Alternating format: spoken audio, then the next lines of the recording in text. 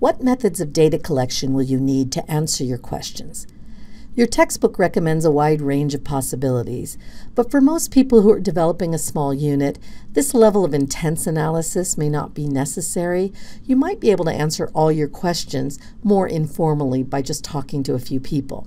However, if you are shifting major pieces around or developing really large elements of curriculum, it may be a good idea to make sure your decisions are being based on good data, which means your methodology needs to be carefully considered.